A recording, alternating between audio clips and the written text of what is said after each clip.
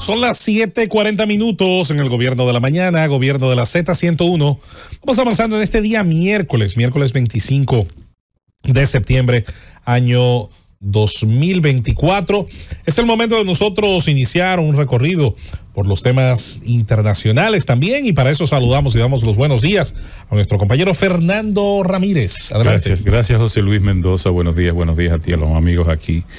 Y, y el permiso al decano ¿verdad? Que voy a, sí, voy a, a, a, penetrar en su espacio en el día de hoy Vamos a ver si te pones la bota de... en los temas internacionales. Intentaré, pero antes yo quiero que me den dos segundos. Adelante. Porque tengo dos motivos para, para decir algunas cosas aquí. Por ejemplo, en el día de hoy, 25 de septiembre, cumple años uno de mis nietos. ¿Cómo?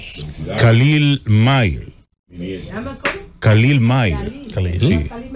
El príncipe, un príncipe, Khalil, Khalil Mail. Creo que lo que significa es príncipe en árabe. Sí. Girón Ramírez, el hijo de Natalie Ramírez, mi perrita bella, la que mejor cocina del mundo entero. Sí, la que mejor cocina es Chef, Master Chef 2019. Así que abrazos grandes a Khalil, ya lo veré y le daré un abrazo fuerte y un beso de abuelito. Y tengo que brevemente también con el permiso de todos ustedes, decir que eh, yo estuve en Bánica ayer. De hecho, hice una transmisión desde Bánica, desde el patio de mamá, que me dicen que quedó, Muy bien, se veía muy bien. Que muy bien. Una locación lindísima. Es un, un, patio verde, eh, bonito, con, con, unos matorrales. Muchas frutas tiene mamá, mucha sombra, que yo disfruto en cada viaje a Bánica. Me dio una sirimba en Bánica, porque me pensé que todavía me faltaba, tenía 20 años de edad cuando yo era un atleta me puse a jugar softball, gané. Ay, gané. Batí muy bien. A Otani me quedaba chiquito. Sí. Gané el juego pichado y gané el juego bateando. Pero al final me dio una sirimba. Suerte que andaba con mis dos hijos mayores. Que uh, rápidamente me llevaron al hospital de Bánica. Y ahí es que quiero pararme un chin. Ay, no, por favor. Eh, Mario Lama, el, el, el, el que tiene que ver con los hospitales, ¿verdad? Ay, Mario no, mira, no es ni siquiera una protesta, nada, es, es, una queja, porque lo que se vive en ese hospital de Bánica no es para humanos, no es para humanos. O sea, no hay un hospital. Hay una destrucción total de un edificio que alguna vez se utilizó como un hospital. Eso no está apto para atender absolutamente nada, ni humanos, ni animales, ni nada. Es una posilga. Es un edificio destruido, con lo que conlleva un edificio destruido que intenta usarse eh, para un hospital. Tú sabes lo que es. Hay un solo baño, que no es un baño, porque no tiene puerta, no tiene luz, no tiene agua. Tú tienes unos tanques almacenados ahí. Ay, en una emergencia, que no es una emergencia. Ay, no, por favor, Bánica merece algo más. La gente de. Y, y es una zona eh, donde tiene que ir la gente de, de Pedro Santana, eh, los campos aledaños. Los haitianos, que son los que van, porque lo, no hay a donde, los haitianos van, porque ¿qué van a hacer? Me contaba una doctora, la doctora, por, por cierto, prima de Diulca, Dorca Pérez, que tienen una sala de parto. Y me dice, yo quiero que tú veas esa sala de parto. Yo no pude verla, yo estaba malo, a mí me dio una cosa terrible. Yo estoy vivo porque Dios me mantiene vivo. Bueno, es un llamado de atención y ojalá me hagan caso. Si no me hacen caso, entonces sí viene la protesta. Bueno. Claro, porque ya, ya no se aguanta más. Eso tiene 500 años. La gente del PLD pasó por ahí, el gobierno del PLD y una cantidad de funcionarios hablando tonterías y a tomarse fotos y videos. Que vamos a arreglar el hospital. Ahí está esa vaina destruida. Este, cuatro años, absolutamente nada tampoco. Una vez el obispo de San Juan, en ese momento, José Dolores Grullón Estrella, en una actividad con Hipólito, en Asua, ¿sabe lo que le dijo? Le dijo, presidente, mire, yo le voy a solicitar algo para que usted se quite de responsabilidades. Como Haití ha estado reclamando de Asua para allá, vamos a entregarle eso y ya usted no tiene compromiso. Lo, lo que le dijo el obispo a Hipólito. Entreguenle Bánica Haití ya para que salgamos de eso. Dios. Bien, vámonos como tú anunciaste con las internacionales, José Luis Rodríguez. Y el Puma. El Puma. Tenemos que irnos necesariamente a Estados Unidos, que es el foco de atención, porque las elecciones se van a celebrar en poco más de un mes, 5 de noviembre, aunque ya hay estados que comenzaron la votación adelantada, la votación por correo, pero esos resultados no se sabrán hasta que se destapen los resultados generales, que será a partir del 5 de noviembre, que aparentemente, según he estado yo observando, es probable que las autoridades electorales norteamericanas no den a conocer el resultado el mismo 5 de noviembre, como es costumbre, por una razón. ¿Por qué? Porque hay estados que están muy cerca uno del otro, los candidatos. Entonces, ¿qué prefieren? No, porque se van a ir dando los resultados parciales. Eso no lo, eso no, a nadie lo puede evitar. Pero el resultado oficial es muy difícil que se dé a conocer hasta tanto se tenga seguridad de que en esos estados que están muy cercanos. En Estados Unidos se ha utilizado toda la vida, el- lo recuerdo porque desde el año 92 más o menos le estaba dando seguimiento a, a elecciones norteamericanas. Y siempre recuerdo la frase, too close to call, Sí. too early to call. Se dice, muy cerca para declarar un ganador o muy temprano para declarar un ganador. Exacto. Yo no creo que eso vaya a variar mucho realmente. ¿eh? Parece que sí, porque la competencia es muy cerrada. Ahora mismo, eh, bueno, Kamala encabeza las encuestas, pero con un margen mínimo, muy mínimo. Y los analistas norteamericanos han estado hablando de que hay seis estados clave que son los que van a definir las elecciones. Sí, sí. ¿Por qué esos seis estados clave definirán las elecciones? Porque los demás hay una definición clara por una tradición de que eh, este estado, por ejemplo, Nueva York ha sido tradicionalmente demócrata, eso se lo dan con seguridad a, a los demócratas, a. Harris. Y otros estados que regularmente han sido republicanos, eso se lo dan ya. Eso, eso, eso no tienen discusión. Para, Pero hay este, otros. para este año se espera que Georgia, que es para mí. Georgia y Pensilvania son para mí los dos estados clave, pero se suma a Georgia y a Pensilvania, según los analistas, Georgia, Arizona, Wisconsin, Michigan, Pensilvania, que ya mencioné, Nevada y Carolina del Norte. Carolina del Norte. Como los estados que van a definir en esta oportunidad. Fíjense que ya no se cuenta como estado pendular, por ejemplo, ya no se habla de Florida, que ya en los últimos años se ha eh, inclinado a ser un estado republicano. Ya no se habla de Ohio, que en los últimos años también tiene una inclinación bastante clara. Eh, ya no se habla de otros estados que antes se solía mencionar cuando se, se hablaba del concepto de swing state, de estado pendular, de Sí. estado que iba este, en una elección por un lado, en una elección por el otro. Ya estos siete, y de estos siete yo creo que hay dos que resaltan esencialmente, Georgia y, y Pensilvania serán clave, como tú dices, en definir esa- esas pequeñas diferencias. El resto o es azul o es el muro rojo, Sí, eh, casi de manera definitiva. Entonces, mira lo que pasa. El cual- ¿Qué es lo interesante de esto? En el caso, por ejemplo, de Kamala Harris, Kamala Harris viene subiendo en las encuestas.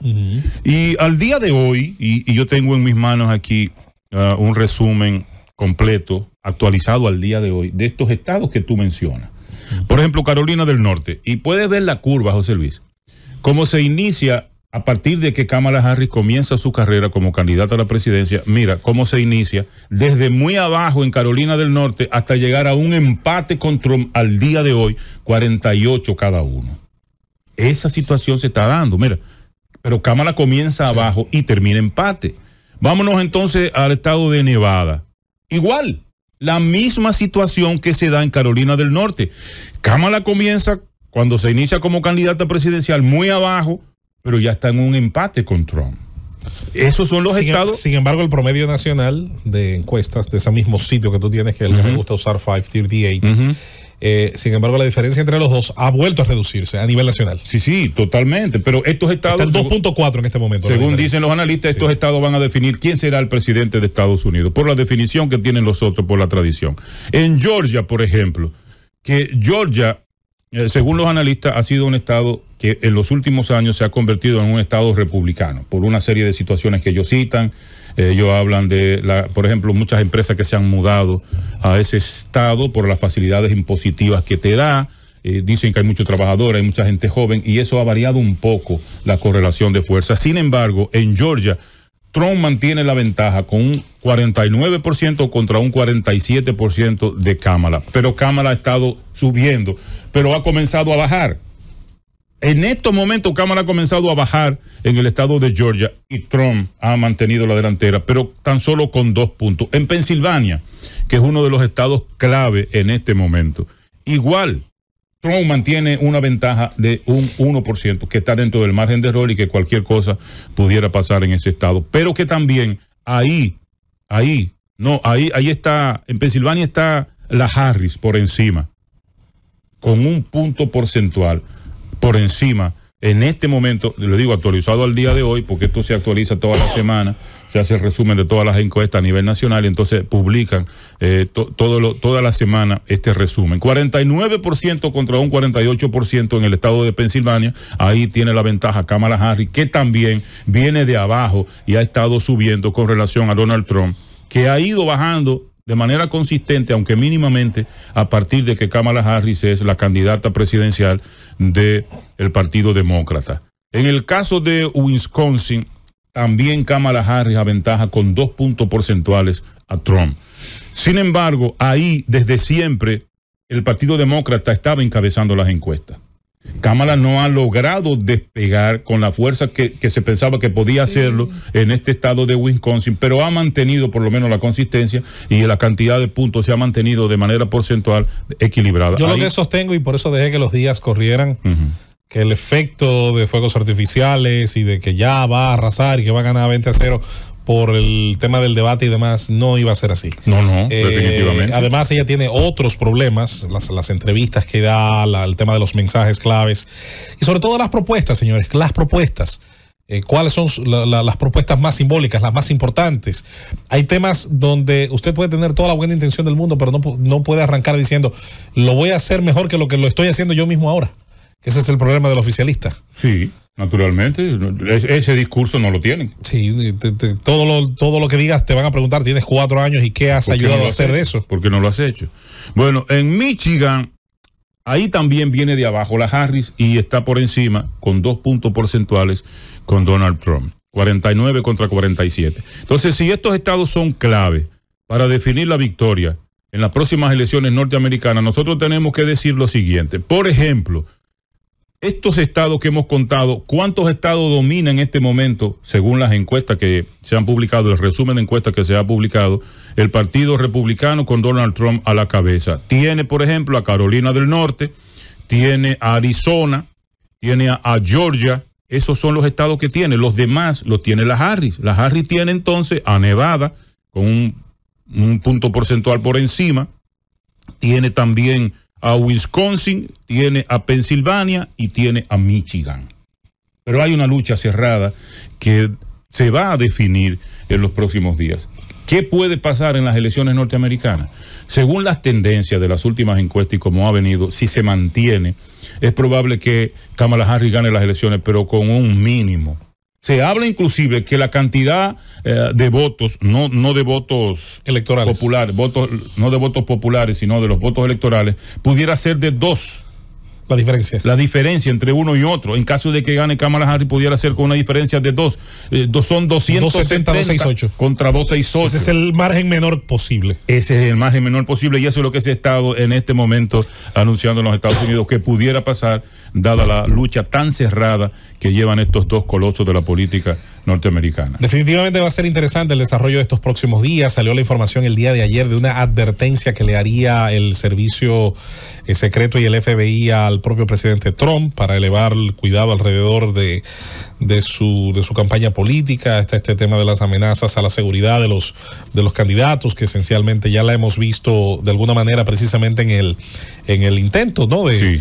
De, De asesinato de asesinato del presidente Trump del que han seguido saliendo informaciones, aunque muchas de ellas ya quizás no presentan el mismo interés noticioso que los primeros, los primeros días. Y ayer salió la información precisamente de que estaba eh, el señor Donald Trump diciendo que le habían informado de que había planes específicos, incluso se le ha puesto eh, nombre y se habla en- específicamente de Irán, eh, y de que había obtenido información de la inteligencia de los Estados Unidos, el Departamento de Justicia. Se habla incluso de un ciudadano pakistaní al que habrían, eh, al que tendrían bajo, bajo custodia y que tendría algunos enlaces precisamente con Irán. Estas, obviamente, son cuestiones serias, tienen que investigarse seriamente, aunque sean mentiras. Sí, Eh, sobre todo por lo que ha pasado y lo que todo el mundo espera que pase con, con el presidente Trump. Hay amenazas reales, intentos inclusive. Eh, pero ya la seguridad personal del, del expresidente norteamericano habló de que sí, recibió los informes oficiales de parte de las autoridades de inteligencia norteamericanas y que se han estado oh, tomando medidas. Se ha, se ha estado reforzando el círculo de seguridad del expresidente Trump en vista de, parece que hay eh, cierta eh, veracidad, ¿no? Sí. En esta versión que se ha dado a conocer de un intento de asesinato. No, si la de una que tiene agencia, que ver- una Sí, agencia evide- oficial. evidentemente hay algo ahí de, digamos, de base para, para que puedan ellos llegar de alguna manera a ese tipo de conclusión. Eso No habrá otro debate. Trump rechazó la posibilidad de otro debate que fue. Eh, Kamala propuso que se hiciera otro debate en octubre. No lo habrá porque el presidente Trump decidió que no. Que no irá a otro debate y que. No, no es fácil. No es fácil tres contra uno tampoco, de verdad. No, no es Muy fácil. mal el Sí, sí, sí, sí, sí. Mientras tanto, vamos a ver el desarrollo de, de este tipo de, de todo lo que, lo que tiene que ver con las elecciones de los Estados Unidos y el, el ámbito de las, de las preferencias y de las variaciones. Mira, el tema de la, de la reunión de la ONU, la Asamblea Inter- General, Interesante, ahí va. ha traído de todo. Sí. Lula da Silva, eh, que está también presente, al que por cierto le, le apagaron el micrófono, le, Sí. le pusieron la musiquita que ponen en el Casandra, de que el Ajá. tiempo se le Y él siguió como que no era con él. Y él siguió hablando. Entonces Sí. le apaga- procedieron a apagarle el micrófono eh, para, para que entendiera el mensaje de que su tiempo se había terminado. Bueno, Ignacio Lula da Silva, presidente del Brasil, decidió reunirse con el señor de la actitud gariconil, ¿verdad?